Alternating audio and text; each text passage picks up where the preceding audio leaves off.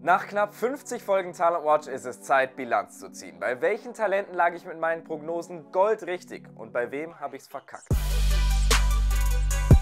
Ich glaube, ich kann mit Fug und Recht behaupten, dass ich mir in den letzten eineinhalb Jahren eine gewisse Expertise in Sachen Talenten aufgebaut habe und dass man deshalb meinem Urteil trauen darf. Nur halt nicht jedes Mal, wie wir gleich sehen werden. Herzlich willkommen zu einer Sonderfolge Talent Watch. Mein Name ist Conan und ohne Witz. Seit meiner ersten Folge Talent Watch am 12. Februar 2021 reden wir im Team davon, irgendwann einen Rückblick zu machen auf all die Talente, meine Prognosen und die Entwicklung der Spieler. Und heute ist es soweit. Und passenderweise habe ich in dieser ersten Folge gleich mal voll ins Schwarze getroffen und darauf bin ich bis heute stolz. Es ging damals um Darwin Nunez und ich sagte folgendes. Robert Lewandowski ist mit 32 Jahren immer noch der beste Stürmer der Welt. Aber auch er weiß, in zwei bis drei Jahren werden die Bayern für ihn einen Nachfolger brauchen und sollte Plan A, Erling Haaland, nicht funktionieren, dann braucht es einen Plan B und für diesen Plan B gibt es in Portugal einen sehr interessanten Mann. Da war alles drin. Jetzt, eineinhalb Jahre später, war Haaland lange Zeit der Favorit der Bayern auf die Nachfolge von Robert Lewandowski und Nunez ist neben Haaland und Dujan Vlahovic das größte Neuner-Talent der Welt und immer wieder bei den Bayern im Gespräch. Und im Gegensatz zu Fionbos Ansage wird Lewandowski nicht nochmal ein bis zwei Jahre bei Bayern verlängern und die Bayern können sich nicht erst 2023 um einen Nachfolger kümmern. Und ich bleibe dabei, Nunez wäre ein Mega-Kandidat für die Bayern. Immer noch erst 22 Jahre alt, dieses Jahr 34 Tore für Benfica gemacht und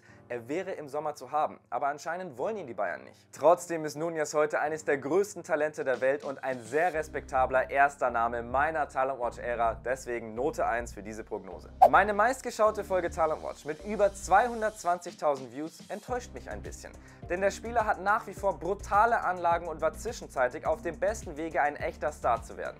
Yusuf Demir. Von daher ist für mich, ehrlich gesagt, nicht einer dieser großen Topclubs in der Gerüchteküche der richtige nächste Schritt für Yusuf Demir. Ich finde, er muss irgendwo hingehen, wo er Spielzeit sammelt. Er ging aber zu dem Top-Club, den er so sehr liebt, zum FC Barcelona. Und ich kann es verstehen, als junger Spieler von Rapid Wien lehnst du ein Barca-Angebot nicht ab. Aber die Zeit in Spanien lief für ihn nicht optimal. Ein paar anständige La Liga-Spiele waren dabei, auch Champions League, aber nach einem halben Jahr ging es im Winter ohne Torbeteiligung zurück zu Rapid. Und das ist ehrlich gesagt schade, denn Yusuf Demir hat am Ball eine besondere Gabe und ich hoffe, dass wir sie bald dauerhaft in einer Top-Liga sehen. Meine Prognose hier war nicht falsch, aber irgendwie auch enttäuschend, Note 3. Im April 2021 spielte sich ein Talent aus der Dortmund-Jugend in den Fokus, vor allem durch seinen 3:2 Siegtreffer gegen den VfB Stuttgart. Damals war schnell die Rede von Jaden Sanchos Nachfolger und ihr spracht euch in einer Umfrage für einen Stammplatz in der BVB 11 aus.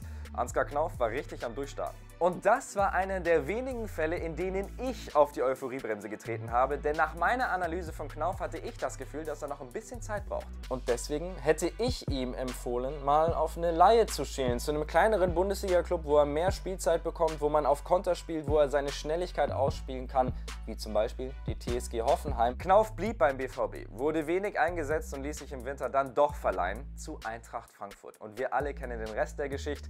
Drei Tore und zwei Vorlagen später ist er Europa League-Sieger und sorgte gegen Barca und West Ham für besondere Momente. Aber eben nicht in Dortmund, sondern als Leihspieler mit mehr Spielpraxis und deswegen finde ich es gut, dass er noch ein Jahr bei Frankfurt bleibt. Meine Prognose hier war nicht schlecht, Note 2.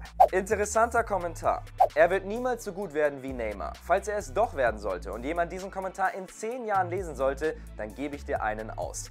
Es sind seit diesem Video keine 10 Jahre, sondern nur eins vergangen, aber ich glaube, das reicht, um festzustellen, dass es sich hier um einen meiner schlechtesten Takes aller Zeiten handelte. Und ich habe heute für euch einen Youngster dabei, der in Brasilien als das nächste ganz große Talent gilt. Also wir reden hier von der Kategorie Neymar, Pato, Gabriel Jesus. Streng genommen ging es hier um den Hype in Brasilien und nicht meine eigene Aussage, aber ich gebe offen zu, damals habe ich wirklich geglaubt, dass Gabriel Veron eine richtige Rakete wird. Es hat einfach alles gepasst. 18 Jahre jung, der damals wertvollste Spieler in ganz Südamerika mit einem Marktwert von 25 Millionen Euro und ein geiler Spielstil, den ich bis heute feiere. Jetzt sind es nur noch 12 Millionen Euro Marktwert. Die großen Gerüchte um 50 Millionen Euro Angebote aus Manchester sind alle verflogen und Veron spielt bei Palmeiras keine zentrale Rolle mehr. Ich weiß nicht genau wieso und vielleicht kommt da ja auch noch was, aber Stand jetzt muss ich euch einen ausgeben für diesen absoluten Schnitzer, Note 6. Unser heutiges Talent ist vielleicht das größte, das wir jemals bei Talent Watch hatten.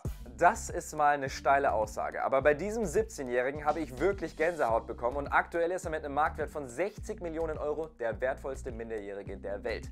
Gavi. Das muss man sich mal vorstellen. Der Junge hat dieses Jahr 34 La Liga-Spiele gemacht und ist Stammspieler in Spaniens Nationalmannschaft mit 17. Und er hat dieses Niveau konstant gehalten. Unfassbar. Gavi zu analysieren war wie als Achtjähriger Weihnachtsgeschenke aufzumachen. Es war die pure Freude. Und es ist weiterhin ein Erlebnis, ihm beim Kicken zuzusehen. Aber ist er jetzt wirklich das größte Talent-Watch-Talent aller Zeiten? Ist zumindest diskutabel, denn zu Zeiten von Christoph hatten wir hier Namen wie Erling Haaland oder Ansu Fati.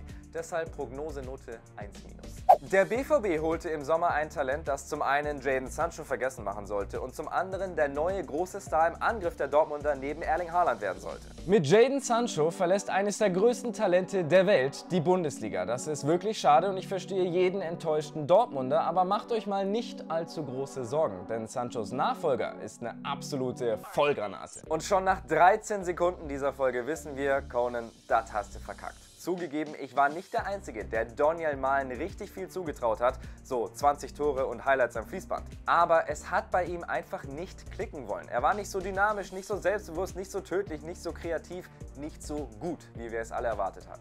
Nach seiner ersten Saison in Dortmund steht er bei 5 Toren und 6 Vorlagen in der Bundesliga. Das ist jetzt natürlich nicht bodenlos, aber eben auch weit weg von einer absoluten Vollgranate. Leute, ich calle es jetzt. Wenn Malen sich gut einlebt beim BVB, dann hat Dortmund den krassesten Sturm in der Liga. Tja, jetzt ist Haaland weg und Dortmund sucht wieder einen neuen Stürmer. Vielleicht klappt es ja mit dem besser für Malen. Note für diese Prognose 4 Sehr zufrieden bin ich übrigens mit meinen Einschätzungen zu Julian Alvarez, der gerade für River Plate sechs Tore in einem Spiel gemacht hat und zu City wechselt und zu Harvey Elliott, der vor seiner Verletzung teilweise Stammspieler bei Liverpool war. Eher Belasto war mein Rating von Mikkel Damsgaard, der nach seiner starken EM mit Dänemark bei Genua quasi gar nicht zu sehen war, auch wegen Verletzungen. Und zu Elias Moriba, der nach seinem Ekelabgang von Barca zu Leipzig nichts gerissen hat und jetzt bei Valencia immerhin Stammspieler ist. So, und welche Note würdet ihr mir jetzt nach eineinhalb Jahren Talent Watch Prognosen geben? Schreibt es in die Kommentare und dann sehen wir uns übernächste Woche wieder, denn ich mache jetzt ein bisschen Urlaub. Wenn ihr dabei sein wollt, folgt mir gerne auf TikTok. Bis dann, haut's rein.